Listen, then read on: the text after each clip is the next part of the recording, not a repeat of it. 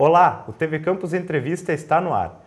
Entre os dias 7 e 9 de outubro, acontece o segundo seminário sobre o impacto da agricultura nos recursos hídricos, manejo do solo, da água e das bacias hidrográficas. Para falar sobre o assunto, eu recebo no programa de hoje Miriam Fernanda Rodrigues, do programa de pós-graduação em Engenharia Florestal. Seja bem-vinda, Miriam. Obrigada. Bom, Miriam, o que será abordado durante esse seminário? Bom, durante o seminário serão tratados quatro temas principais relacionados ao impacto da agricultura nos recursos hídricos.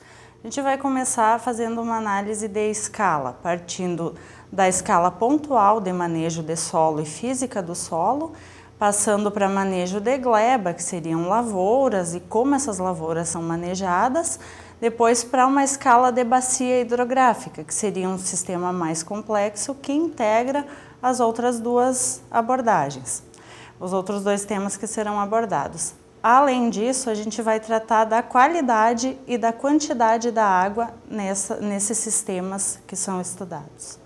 Qual que é a relevância de se discutir esses assuntos ligados aos, aos recursos hídricos é, dentro da esfera acadêmica? Na esfera acadêmica, a gente tem cursos que trabalham com recursos hídricos tanto na área urbana como na área rural. E os estudantes são as pessoas que serão profissionais e que trabalharão com isso mais em frente após formados ou até mesmo durante a sua formação. E são as pessoas que vão tratar desses recursos e viabilizar que esse recurso seja de qualidade para a população em geral.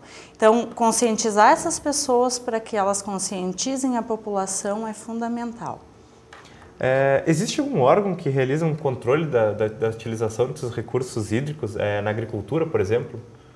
A gente tem pela Agência Nacional das Águas, é um, o órgão federal que trata de recursos hídricos, e a Agência Nacional tem uma, uma parceria com a, com a CPRM, que é o Serviço Geológico do Brasil. Então, eles têm vários pontos de monitoramento de, no, no Brasil como um todo que coletam a água para análise de sedimentos e para análise de qualidade de água.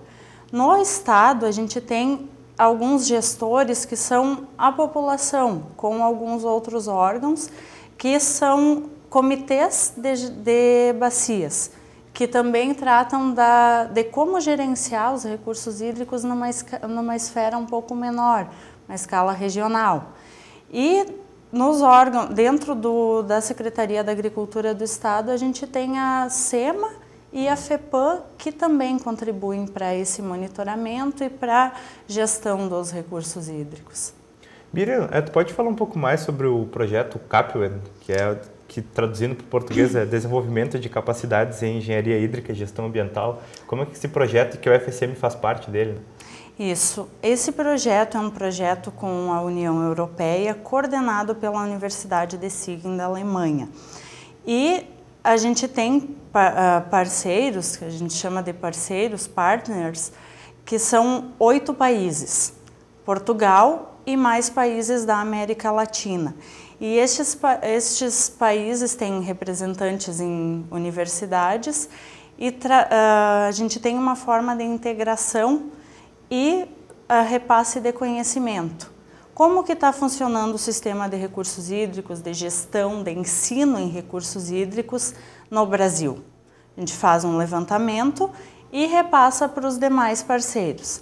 Os demais parceiros fazem a mesma pesquisa nos seus países e repassam para nós. Então a gente tem um, uma geração de conhecimento grande e esse conhecimento pode ser utilizado depois. Se um país tem alguma informação interessante, alguma técnica que pode ser empregada para os outros países, contribui para todos do grupo. E qual que é a importância dessa, desse intercâmbio entre os países, essa troca de conhecimento? A gente tem uh, estudos de caso de sucesso na Alemanha, em, em outros países, que podem ser repassados para os países que não têm aquele, aquele sistema adequado. Então, se um parceiro consegue colaborar para o outro, a comunidade cresce. A gente pode ter uma informação ou uma maneira de tratar os recursos hídricos em outro país que pode ser empregada, no caso, exemplo, no Brasil, e este sistema vai contribuir para a melhoria da gestão dos recursos hídricos, qualidade de água, qualidade ambiental que contribui para a sociedade como um todo, não só no meio acadêmico, não só como para os órgãos gestores, mas para a sociedade, para que tenham, se tenha um ambiente adequado para viver, para e de que maneira tu acha que se pode criar, assim, através de uma instrução coletiva, é, uma conscientização ambiental para diminuir justamente é, esses danos aos recursos hídricos e conscientizar principalmente aqueles promovidos pela agricultura e também pela indústria? a gente precisa de informação. É um levantamento de informações muito grande na, nas universidades, nas instituições, sejam elas públicas ou privadas, só que esse, essas informações que são geradas, elas precisam ser repassadas de alguma forma para a sociedade. Senão, não faria sentido a gente pesquisar, trabalhar com isso, se não chega até o público-alvo, que seria a sociedade. Seja o consumidor da, das áreas urbanas, seja o produtor rural, a gente teria que linkar de alguma forma para que a informação gerada na instituição chegue aos extensionistas e dos extensionistas chegue para a população. Só que até chegar na população, tudo bem, só que a gente precisa de um trabalho, de uma mobilização muito grande para que a população receba aquela informação como uma coisa boa, que pode ser utilizada e que vai gerar benefícios para a qualidade ambiental e para a saúde das pessoas também como um todo. De que maneira tu acha que deve ser feita essa mobilização para instruir as pessoas? Como tu acha que deve, se deve chegar até a conversa com as pessoas para passar esse nível de informação? O primeiro passo a gente está dando, que é o seminário. Nesse seminário a gente está buscando integrar pessoas de diversas instituições, públicas, privadas, extensionistas e estudantes, para que a gente tenha uma estratégia. A primeira estratégia seria o levantamento das informações. Depois, uma padronização de metodologias para levantar essas informações. E depois, sim, que os extensionistas, os estudantes levem essa informação que a gente discutiu de forma intensiva até a população. Bom, Miriam, o, o, seminário acontece de 7 a 9 de outubro, Isso. né? Pode falar um pouco mais sobre a programação, o local? Isso, eu tenho a programação aqui. A gente inicia no dia 7 com uma palestra, apresentação dos resultados do último seminário. Então, a gente, do, do, primeiro seminário. A gente teve um seminário, foram discutidas informações importantes, pontos importantes, e fazer um seminário sem ter um resultado seria inválido. Então, a gente vai apresentar o que se gerou da informação, o produto do último resultado. Vai ter uma apresentação falando o que, que é o projeto e depois a gente começa com qualidade física do solo, manejo do solo para reter, armazenar água e como essa, essa escala menor, que seria na escala pontual física do solo, se propaga para o manejo de glebas. Então, depois os pesquisadores vão falar sobre manejo e que efeito esse manejo tem para o armazenamento e para a disponibilidade de água e para o crescimento de plantas também. Depois a gente passa para uma escala um pouco maior, que é a escala de bacia. Na escala de bacia a gente tem vários sistemas florestais ao redor dos cursos de água, que é previsto em legislação, áreas que não que tem que ser manejada de forma diferenciada, então é um sistema complexo e precisa ser estudado. Tem vários estudos que vêm sendo conduzidos e está se ampliando o interesse em estudar isso pela complexidade que é o sistema que a gente Sim. vive, né?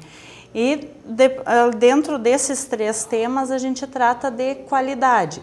Qualidade e quantidade. Quanto eu consigo armazenar de água no meu ambiente, no meu sistema e se essa água vai ser de qualidade. Se, ela, se eu consigo armazenar menos, Então, para algum lugar essa água está indo. Se ela está indo para o curso d'água, ela transporta poluentes, ela transporta sedimento. Então, a gente analisa também isso, que vai ser um dos tópicos apresentados no seminário. Então, e o público-alvo são estudantes? O público-alvo são pessoas que tenham interesse em recursos hídricos, que estudem com isso e que uh, tenham alguma, algum interesse no, no tema como um todo. Então a gente fez, uh, tem, tem uma, um grande número de pessoas inscritas e dessas pessoas inscritas a gente tem estudantes, pesquisadores, professores e pessoas que trabalham em, em empresas privadas em uma série de, de pessoas que, que abrange. E essas pessoas, pessoas também são de diversos cursos, os que são estudantes. De, das áreas rurais, de geografia, geologia, de engenharias, engenharia ambiental, engenharia civil, todas as pessoas que trabalham com recursos hídricos. Miriam, queria agradecer a tua presença aqui no TV Campus Eu Entrevista. Desejar um ótimo seminário para ti. Muito obrigada. O TV Campus Entrevista fica por aqui. Você pode rever este programa em horários alternativos na nossa grade de programação ou no canal da TV Campus no YouTube. Até mais!